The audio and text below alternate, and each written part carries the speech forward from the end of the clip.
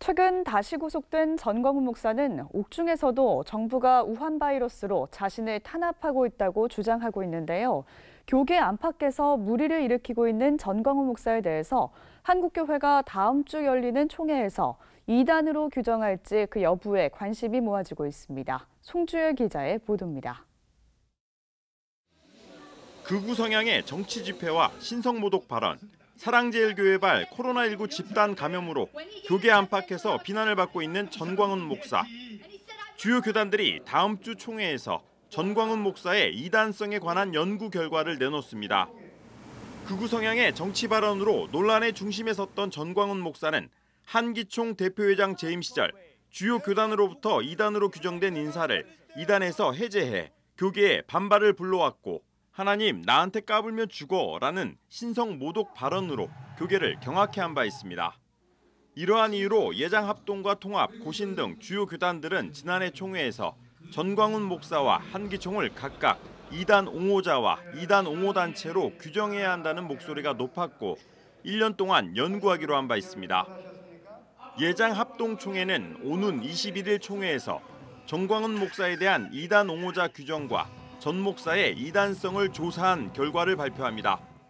이와 함께 한기총을 이단 옹호단체로 규정할지 여부에 대해 조사 결과를 발표합니다.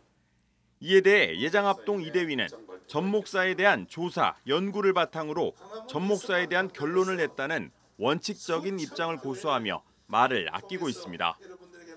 이와 달리 예장 고신 이대위는 22일 총회에 보고할 보고서에 전광훈 목사를 이단성이 있는 이단 옹호자로 결론을 내렸습니다.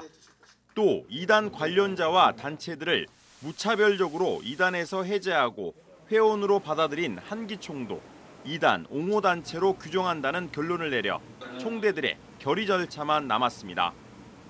22일 총회를 여는 예장 합신총회의 경우도 전광훈과 한기총을 이단과 이단 옹호단체로 각각 규정한다는 헌의안을 상정해 총대들의 의견을 묻습니다.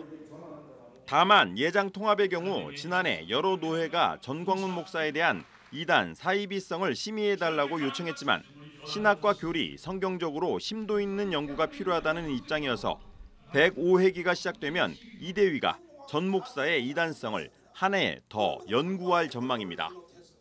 한편 한국교회 주요 교단들이 참여한 8개 교단 이단 대책 위원장 협의회는 올해 초 전광훈 목사를 비신학적이고 반성경적 인물로 교류하지 말 것을 권고한 바 있어 이번 총회에서 전 목사를 이단 옹호자 또는 이단성이 있는 인물로 규정하는 교단이 나올 것으로 예상됩니다.